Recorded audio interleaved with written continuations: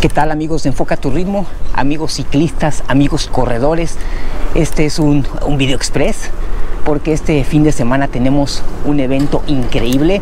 Eh, no es evento de carrera, es un evento, pues tampoco podemos decir un evento, es un evento ciclista.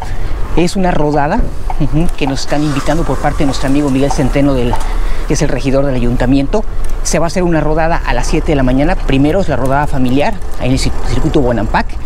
Y terminando va a haber una, una interacción muy, muy, muy interesante. Se dan cuenta de las iniciativas que ya se, han estado haciendo para permitir que el ciclista tenga su metro y medio y que se pueda utilizar un carril.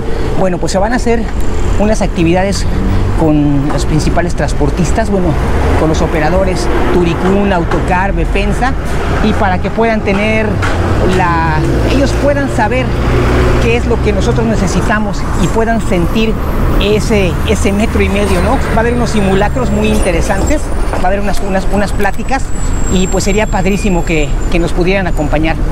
Es este domingo primero de diciembre, ahí en el circuito Bonampac de la zona hotelera. Se va a cerrar a partir de las 6 de la mañana el, el- circuito, así que van a estar todos protegidos. Es un, va a ser una rodada familiar a partir de las 7 de la mañana, como ya les dije, y después se harán los simulacros.